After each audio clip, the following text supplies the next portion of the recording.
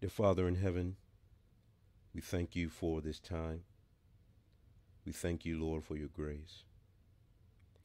As we get ready to hear from your scripture, I pray by the power of your Holy Spirit that you would give us the ability to understand what your word is saying to us. I pray, God, that you would make your presence known and that you would bless us. We ask these things in Jesus Christ's name. Amen. Again, thank you for joining us. Outlines can be found at mygraceandtruth.com and click on the sermons tab.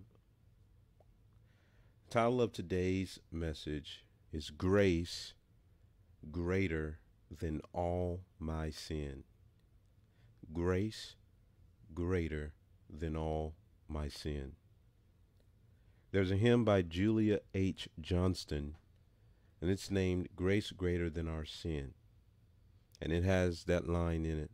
It says, Grace, grace, God's grace, grace that is greater than all our sin. And that's where the title of today's message comes from. And this is a very important truth to remember. And there's a passage of scripture that speaks to this in Romans chapter 5. Romans chapter 5. In Romans chapter 5, the Apostle Paul is talking about sin and how sin started and the grace of God. And we read in verses 20 and 21, the Apostle Paul writes, The law came in so that the transgression would increase. But where sin increased, grace abounded all the more. Verse 21 So that as sin reigned in death, even so grace would reign through righteousness to eternal life through Jesus Christ our Lord.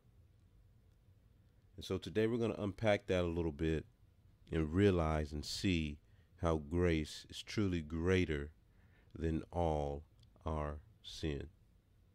The first thing that I want you to notice from these scriptures is that the law increases sin. The law actually increases sin. In Romans 5, verse 20, we read, The law came in so that the transgression or the sin would increase. But where sin increased, grace abounded all the more or where sin increased, grace increased even more. Now, he says something similar in Romans chapter 7. In Romans chapter 7, beginning at verse 10, this is New Living Translation now. He says, I discovered that the law's commands, which were supposed to bring life, brought spiritual death instead. Sin took advantage of those commands and deceived me. It used the commands to kill me.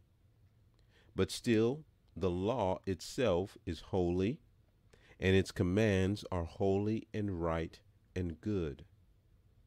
But how can that be? He says. Did the law, which is good, cause my death? Of course not. Sin, this force, this entity, sin used what was good to bring about my condemnation to death. So we can see how terrible sin really is. It uses God's good commands for its own evil purposes. And so the law increases sin. And this may seem weird because it would seem that law would diminish sin or lessen sin. But the fact is, we are too broken, too, as Paul would say, enslaved by sin, too much under sin's power for the law to do that. And so the law actually increases sin. And the law actually, another part of scripture tells us, shows us our sins. It shows us that we are sinful and that we need Christ. The second thing that I want you to see today is that where sin abounds, grace abounds even more. Where sin abounds, where sin increases, where sin happens more and more, or, or basically increases, grace abounds even more or increases even more. Now, before we get into this, I want to give a side note of Romans chapter 6, verses 1 and 2. He says, If sin increases and grace increases even more, should we continue in sin? The Apostle Paul says, May it never be, or of course not. How can we continue in what we've died to? So in Christ we died to sin. And so we're not saying that people should continue in sin or throw themselves into sin, but we're explaining the power of God's grace. So please understand that. So where sin abounds, grace abounds even more. The word increase there in that scripture is the word in Greek, pleonazo, pleonazo, and it means to superabound to superabound. So we can understand that, okay, that seems like a lot. That's a lot. But look what happens here for grace. The word abound for abound all the more or increase even more is the Greek word hyper peri, peri, perisio. And it means to abound beyond measure beyond measure, to abound exceedingly. And so, for we can understand that one thing for sin, it may be a lot, but for grace, there's even more. There's even more beyond measure. And I like to use two illustrations to really help us grasp the fact that grace is greater than sin. The first one is is if you think about athletics athletics. In high school, for a person to be named All State, that means that they're really good. They're pretty good. But in in professional ranks, um, people who are really good, athletes who are really good, are in the Hall of Fame. They're in the Hall of Fame. And so sin would be like an all state high school athlete. And grace would be like a professional Hall of Famer in their prime. It's no comparison. If we put the two competing to, against each other, there's no comparison. The grace abounds beyond measure. Also, you can think of a lake versus an ocean. A lake versus an ocean.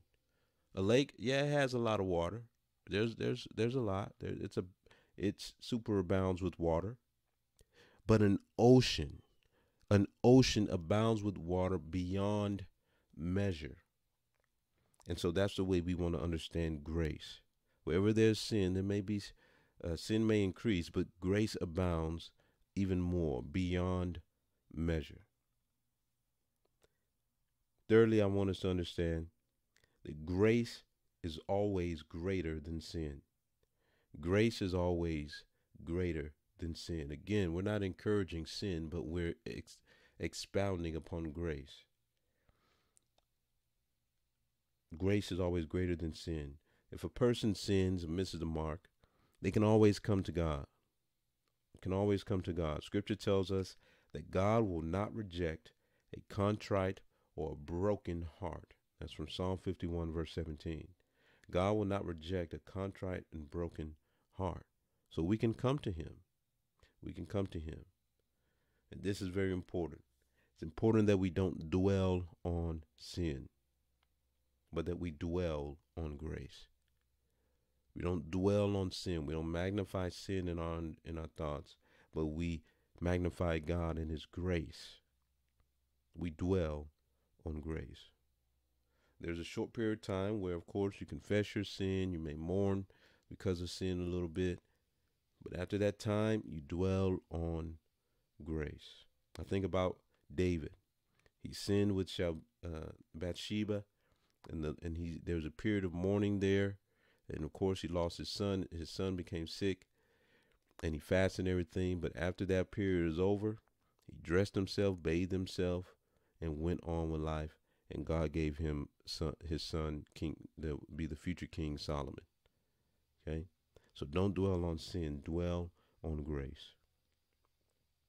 Next thing I want you to see or to understand is that allow the power of grace to work in your heart. We have to allow the power of grace to work in our heart. Proverbs 4:23 tells us, "Keep your heart with all diligence." Word keep is watch over, guard it. For out of it, the heart, spring the issues of life, or come the issues of life. And so we have to allow this grace to work in our hearts. And as that happens, we'll find that sin occurs less and less in our life, and righteousness occurs more and more. The word for grace here is the word charis, and it means goodwill and loving kindness or favor. But it's also speaking of of the merciful unearned kindness by which God, and here it is, exerting his holy influence upon souls. He exerts a holy influence upon soul, and we have to allow that in our hearts. God exerting his holy influence upon souls turns them to Christ, keeps them, strengthens them, and increases them in Christian faith, knowledge, affection, and kindles them to exercise the Christian virtues. So this is grace working in someone's heart. And then begins to become an outpour, an outliving of righteousness because of the work of God and the work of grace in a person's heart. Again, just as sin is kind of like a force that uses something that's good for its own evil purposes, grace is a force that allowed to work in someone's life will bring about righteousness. And this is through Christ, through faith in Christ, that grace enters in. And lastly, this leads into our last point here. We receive God's grace by faith. Receive God's grace by faith. Ephesians 2 8 tells us, For by grace, by grace you have been saved through faith. It's by grace through faith, not of yourselves. It is the gift of God. It is the gift of God, and again, it's received by faith. Colossians 1.23, the Apostle Paul is encouraging the church to stand firm in their faith. He says, in verse 23 But you must continue to believe this truth and stand firmly in it. Don't drift away from the assurance you received when you heard the good news. Don't drift away from the assurance you received when you heard the good news. At times, people hear the word of God and they're so encouraged because they know through faith their sins are forgiven. But then time passes, and that assurance can can lessen, can weaken a little. But Paul says, don't drift away from the assurance you received when you heard the good news. I would say it this way continue to magnify grace, to continue to dwell upon great grace, that you may be assured of your position before God as righteous, as clean, and is saved through Christ Jesus. So receive grace by God's faith. God's grace abounds to us. It, it's God gives it to us beyond measure. And we can trust that his grace is greater than our sins. And we can come to him through Christ and receive his abundant grace. Amen. Let's pray. Heavenly Father, we thank you for Christ and we thank you for grace. We put our faith in Christ right now to take away our sins and to bring about the grace of God in our lives and in our hearts. I pray that the power of your grace will transform the hearts of those who are listening. And God, that they would experience the goodness and the joy of the grace of God. We ask these things in the name of Jesus Christ. Amen.